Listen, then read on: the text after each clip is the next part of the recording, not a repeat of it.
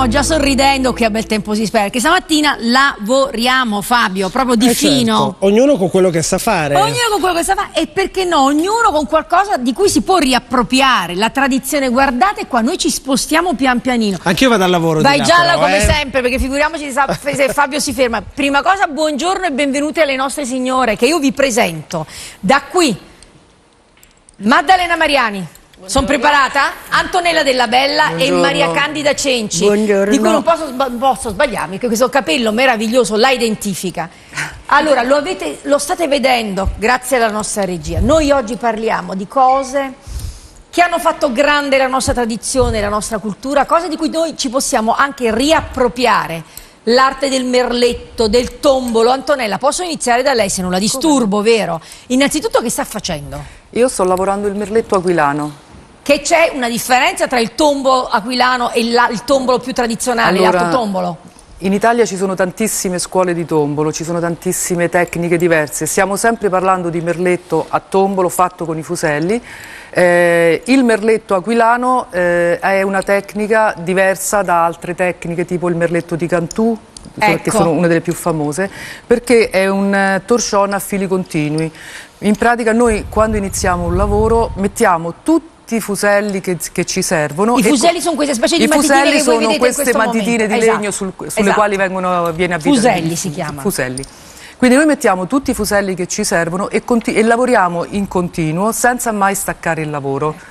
Me- mentre invece nel merletto di Cantù si lavora a zone, si lavora una parte del lavoro, si stacca il lavoro, si chiude e poi si riattacca, per cui il merletto di Cantù è del si chiama merletto riattaccato e si, e si lavora un'altra Quindi zona. si, si- si fa pezzetto per Si pezzetto. fa pezzetto per pezzetto. Antonella, esatto. posso farle una domanda? Perché poi questa è la grande, la grande curiosità. Lei, una laurea in lettere moderne, Sì. la passione dell'arte ce l'ha avuto, lei è stata anche eh, decoratrice. Eh, Eh, lavoravo le vetrate Tiffany. le vetrate, quindi immaginate, e poi a un certo punto questa passione, come Sì. si accende in lei passione che poi è diventata un po' il suo mestiere? Sì, è diventata un lavoro all'interno di un'associazione che si occupa di...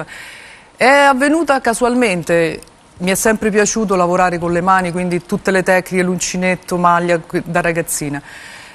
Poi con l'associazione di cui faccio parte abbiamo una organizzavamo una manifestazione dedicata all'artigianato femminile nel periodo in cui io mi occupavo di vetrate artistiche e c'è stato l'incontro con una maestra merlettaia.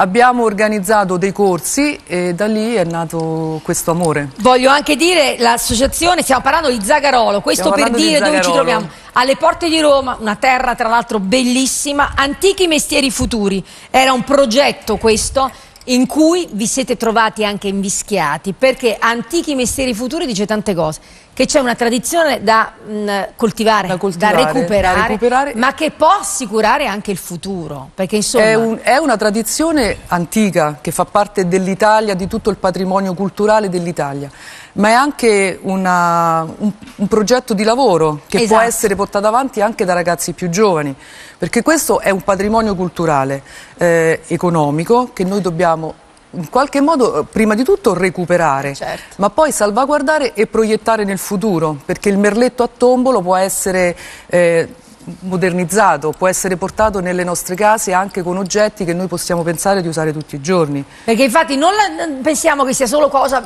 la tavola buona oppure quando vengono gli ospiti, cioè certe lavorazioni possono entrare a far parte del quotidiano.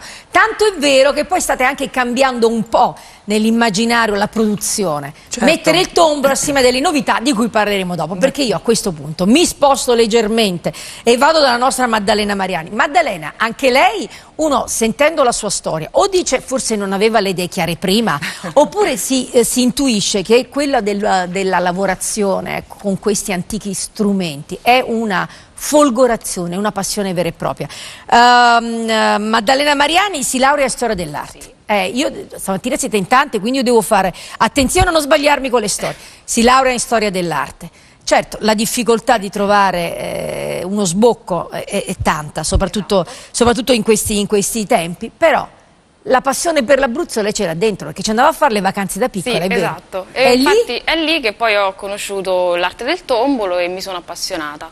Dopodiché era una passione Chi tuttavia. gliel'ha che- insegnato? Lei dove andava a fare, a fare, non dico, dove vedeva questa lavorazione? Io ho conosciuto il tombolo a Pesco Costanzo, appunto in Abruzzo, e- però era ovviamente distante da casa mia, quindi è rimasto un sogno nel cassetto per molto tempo. E nel 2012 ho conosciuto una persona, Tiziana Rossi, e lei sapevo che faceva tombolo con la tecnica appunto aquilana e mi ha istradato in questa via e mi ha insegnato appunto questa tecnica. Tecnica aquilana, perché come ci spiegava Antonella, abbiamo detto questo è il tombolo Sì. aquilano, il suo invece sono i pizzi di Cantù. Il mio è il pizzo canturino, sì, perché una che volta cosa preso... sta facendo esattamente? Sto facendo un, eh, è un centro al quale attaccherò una stoffa mh, colorata, una stoffa, eccola qui, a quadretti lilla. Oh, Quindi allora, prima cosa, cominciamo già a vedere le lavorazioni. Siamo abituati a pensare che i merlettini siano quelle cose delle case delle nostre vecchie Esatto. ziette, quelle lì che non, non ti facevano toccare nulla perché sennò si sgualciva. In realtà voi state portando molta modernità, ma questa poi è la creatività. State combinando dei matrimoni tra Ecco, stoffe modernissime, la, la prende un attimo quella Sì, stoffa, ovvio. che è una stoffa a quadrettini, semplicissima, molto molto moderna, diciamo, a cui abbinare questo pizzo. Che cosa ne vuol fare? Sì, eh, penso una bomboniera o un prototipo un po' di bomboniera. Ma vedi quante idee meravigliose. per Quanto non tempo ci farla- vuole per fare ecco, il pizzo di una bomboniera, per esempio? Immaginiamo che sia una bomboniera. Mm, dipende dalla lavorazione, ma questo penso un 10 giorni. Dieci giorni, Finito. quante ore al giorno? 5-6 ore. 5-6 ore senza mai muovervi Sì. dalla sedia, attenzione, lavorando in casa, quindi Sì, si sa sì. bene che poi la casa distrae, l'idea di dover fare anche tanti altri mestieri, tante altre cose. Senta, eh, Maddalena, perché? Che sensazione le dà que- questo lavoro? Perché uno cambia tutto quello che il progetto di vita in un certo senso e fa anche tanta fatica perché lei poi va a studiare a Gorizia addirittura. Sì, esatto, ho intrapreso da quest'anno la scuola di Gorizia. Che è una scuola seria. È una scuola che dura 6 anni, Mamma al mia. termine della quale poi verrà rilasciato un attestato, quindi una cosa diciamo professionale. E mm, insomma, a me mi appassiona il tombolo, quindi mm, è una cosa che mi dà piacere e mi rilassa. giovane, modernissima, insomma, nel mondo mi fa capire che cosa trova in tutte queste lavorazioni lei. Mm, Non lo so, per me è una tradizione, è solo la tradizione italiana. È un, un mestiere che è tipico nostro, ma nello stesso tempo ci accomuna a molte altre nazioni poi d'Europa. Perché il tombolo è vero che è italiano, ma si trova molto anche in Spagna o nelle Fiandre o in Francia. Come dice lei, d'altronde è una storica dell'arte, è arte, è arte vera da tutelare e da conservare. Io ho sempre d'occhio delle creazioni nuove e sorprendenti, ma prima pieno a questo punto mi alzo pure se mi permettete, perché vado da Maria Candida e Maria Candida, buongiorno, Maria Buongiorno. Candida. Ci porta sempre in questi luoghi incantati, siamo alle porte di Roma, dove c'è una tradizione palestrina, Zagarò, dove c'è una tradizione antichissima. Maria Candida, che mi sta facendo? Tra l'altro questo, il colore di questo, che cos'è? Un centro? Sì. è un centro tavola meraviglioso, meraviglioso. Sto facendo il punto palestrino. Oh, e questo, bravissimo, grande regia, me lo state facendo vedere. Che cos'è il punto palestina? Io ho letto la storia ma non ci potevo credere. Il punto, Meraviglioso. il punto palestrino è stato ritrovato circa 110 anni fa eh, dentro un'urna, un sarcofago sul Museo Barberini. E hanno ritrovata della stoffa, ma non sapendo che lavoro era, l'hanno guastato punto per punto e l'hanno rifatto. Siccome era stato ritrovato a Palestrina, l'hanno chiamato il E dive- punto pensate, una Palestrina. città che dà il nome a questo punto, che è un punto bellissimo, guardate che meraviglia, è di un'eleganza unica, devo dire la verità, eh, veramente elegantissimo. Voi procedete su dei disegni che fate voi oppure li trovate, ve li, ve li fanno già... Eh, eh, si possono trovare su dei giornali, poi Ecco. una magari fa gli- degli ingrandimenti in base a quello che una deve realizzare, perché se è piccolo oppure grande una tovaglia e poi si disegnano con la carta, si, si buchetta tutta la carta con il carbone e poi con la penna E per poi le con la stoffe. penna, si- come- quelle Sì, donne sì. a casa che lo sanno sono delle maestre. Io lo dico per chi non sapesse quanta fatica, quanta arte davvero c'è dietro tutto questo. Però c'è anche una scuola. Sì. Voi sì, ci sono le nonne, ci sono le mamme, Però c'è anche una tradizione didattica Dica- dietro tutto questo. Io ne vengo dalla scuola dell'antica Arse Maria Cicerchia. Mamma mia. Che è storia. È storia, perché adesso è mh, chiusa dal 78. Che vergogna. Posso chiusa. dirlo? Che vergogna. Però è stata una scuola molto importante per noi allieve. per- Ma ci racconti un po', Maria? Ecco qua, intanto guardiamo delle foto. Che cosa vi trasmetteva la vostra insegnante? Insomma, qua- la prima lezione, lei se la ricorda ancora? Sì, perché avevo nove anni, ero piccola Madonna, e mi fece fare l'orologgiorno, ma non, avevo- non riuscivo nemmeno a tenere l'ago in mano.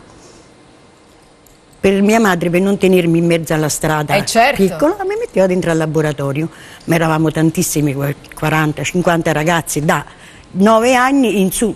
Che cosa Però voleva da voi la maestra? Che cosa vi chiedeva? Tutto, voleva la perfezione, eh, l'ordine. E poi lei era una persona molto, ti dava sicurezza, e che era la cosa più importante. Eh, certo. Ci ha lasciato oh, un qualcosa di bello dentro di noi perché ci ha seguito, lei era una terziaria francescana. Oltre a in- all'insegnamento del ricamo, l'insegnamento col- eh, vicino alla chiesa, La tante vita. cose, sì. Veramente ci ha la lasciato vita. un patrimonio. A Oggi- proposito di patrimoni, Maria Candida, io, se mi permettete, vorrei farvi vedere questo capolavoro. Io me ne sono follemente innamorata. Non so come si, faccia, si faccia nella vita a poter far meno di una cosa del genere, nel senso queste sono cose da tramandare, questi sono tesori. Guardate questa tovaglia. Quanti anni ha questa tovaglia? 51 anni, è stata Ecco. ricamata nel 65 questa è Pensate, stata pensate, a me sembra fatta ieri, cioè questa è una tavola di una modernità assoluta. Questa Quanto stat- può valere una tovaglia del genere? tantissimo, Ma, ma ce lo dica, c'è tipo, buttiamo. Ma intorno Svariate migliaia di d'euro. euro. Possiamo dirlo. Sì. Quanto tempo c'è dietro tutto questo? Questo in 6-7 mesi abbondanti, lavorare 8-9 ore al giorno. Cioè, vi rendete conto di che cosa vi abbiamo portato? Noi siamo contenti. Posso chiedere una cosa? Io chiederei alla regia se mi dà una mano. Vorrei passare dall'altra parte, o meglio, passo da qui, da qui stesso ve lo faccio vedere, di inquadrare per favore quel tavolinetto dove ci sono tutte le creazioni più moderne. Perché? Perché chi ha detto che di Tombolo, Antonella, solo centrini. Ci racconti un po' no. che ci avete portato lì? Intanto esattamente stiamo facendo vedere e inquadriamo. Allora, allora ci sono degli scialli Guardate questi scialli che cosa sono, realizzati- Ecco. sempre realizzati a tombolo, eh, questo rosa in particolare è stato tessuto a telaio e poi una parte dell'ordito è stata usata per fare il merletto. Quindi per capire, bravi, fermate un attimo questa inquadratura. Il bordo che voi vedete è fatto a tombolo, Esatto. il telaio tesse invece il corpo. telaio di questo- è stato è usato per tessere- meraviglioso. E ancora lì vicino un altro scialle bellissimo. Questo tutto realizzato a tombolo. Il merletto verde è il, diciamo, la guarnizione di una te- futura tenda. Di una tenda Di una fatta. futura tenda. Che poi si, si- ma poi come si lavano? A mano? Tranquillamente. Si possono lavare tranquilla- Sì, sì. Il, eh, regge benissimo il lavaggio, non ci Miracolo- sono problemi. Noi dobbiamo dire tutte queste cose perché se uno fa un investimento e vi chiede di lavorare, deve anche sapere poi dopo quanta- quanto tempo può Allora, durare. noi dobbiamo partire dal presupposto che il filato, tutto quello che si usa, è di primissima qualità. Ecco, mettiamo Quindi i puntini sulle i. Il lavoro è talmente tanto che non possiamo permetterci di rovinarlo con Bravo, filati e, tessuti, e tessuti che non siano di eccellente E quindi qualità. difendiamo anche la materia E prima. difendiamo anche la materia Fabio, prima. questa è arte che però può essere messa in mostra, è arte della quale possiamo anche insomma, studiare un pochettino più in particolare, vero? Hai ragione, vogliamo fare un invito Lucia? Facciamolo. A chi ci segue c'è anche un pizzico d'anticipo per questa mostra, siamo a Zagarolo, davvero porte aperte per Tramando Tessendo. Questa è l'iniziativa che sarà eh, possibile visitare il 20, 21 e 22 maggio 2016, una mostra a mercato internazionale del settore tessile che sarà ospitata fra l'altro in un palazzo meraviglioso Eh, che è. Palazzo Rospigliosi, ricordiamolo un castello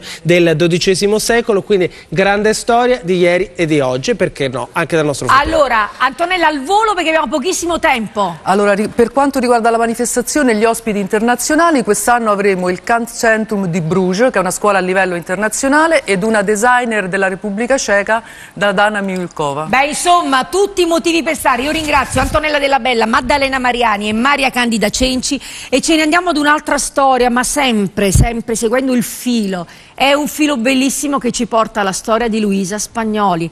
E quanto filo ha tessuto anche lei. Il nostro Luca Rossi.